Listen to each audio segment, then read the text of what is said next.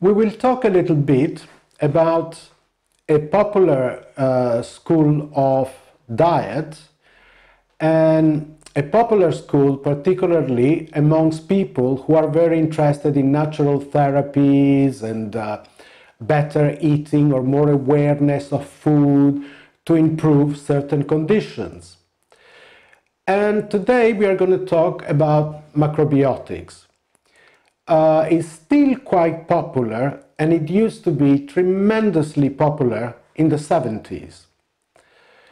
Uh, as you know, it's a diet based very much on the concept of yang and yin, uh, although it's not strictly speaking the Chinese original concept of yin and yang. I mean, they, they, mm, the founder of Shawa gave somehow a different view on it.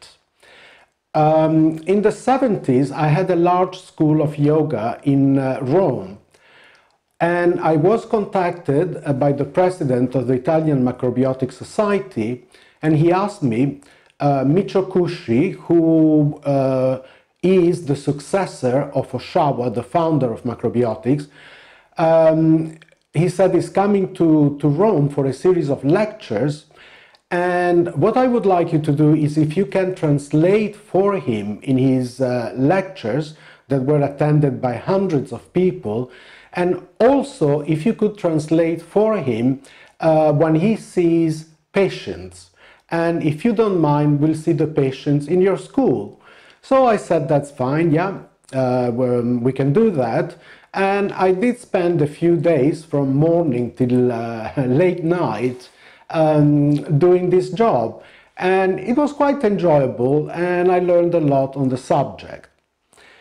Now, macrobiotics can be a little bit controversial, and some people swear by it, and some people somehow they're a little bit skeptical. And I will give you my point of view um, from both sides, the pros and the cons. Now, the pros, um, I have to say that a diet based on brown rice, some lentils, which then create a complete protein because they have all the essential amino acids between the two uh, food, and vegetables, if you do it for a few weeks or more, uh, can be very, very beneficial because you are getting a lot of the minerals and vitamins that you need and is very purifying. Uh, I have seen that it really uh, uh, can really improve your condition. Now, on the side of the cons, though, um, uh, because of Chavez and this concept, I think he was in the 30s or 40s that he started this uh, school of natural medicine he had a concept of the yang of being quite tough and uh, dry and so forth.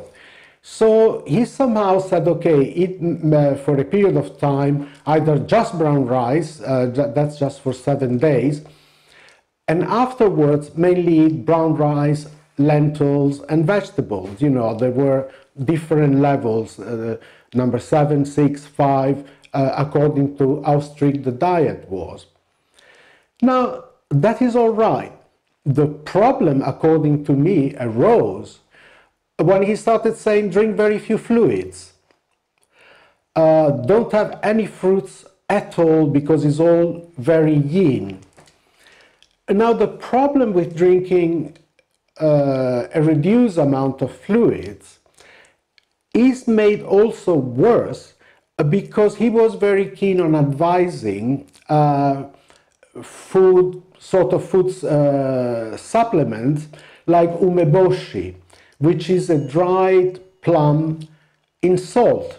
And an umeboshi is very salty. He swore by its benefits, which I think it has.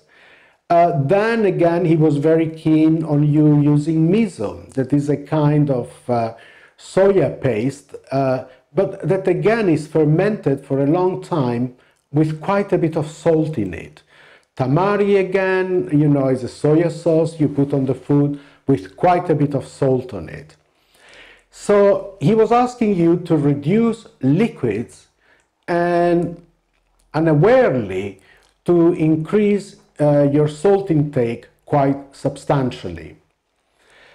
Uh, in my experience over decades in the medical field, I saw that a lot of people ended up suffering because of this.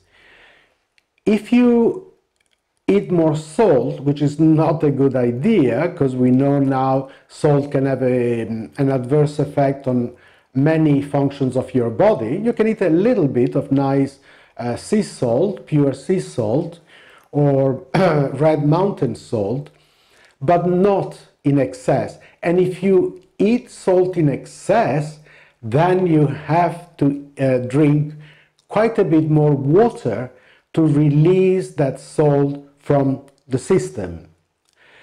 Um, so, what can be a solution for that?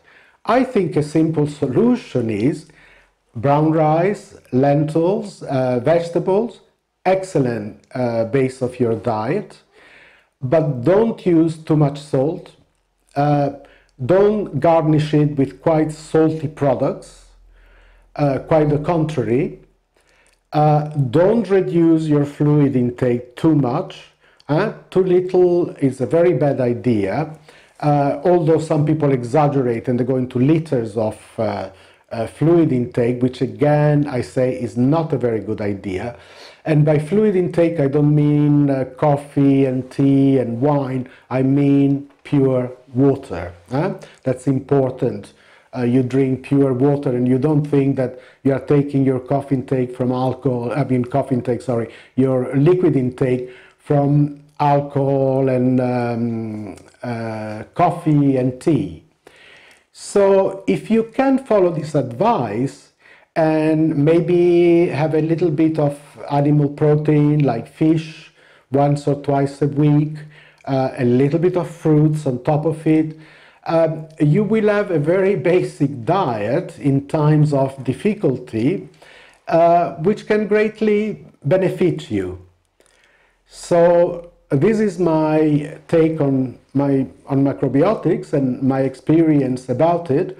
Hope it will be of some use uh, to a few of you. Thanks for listening.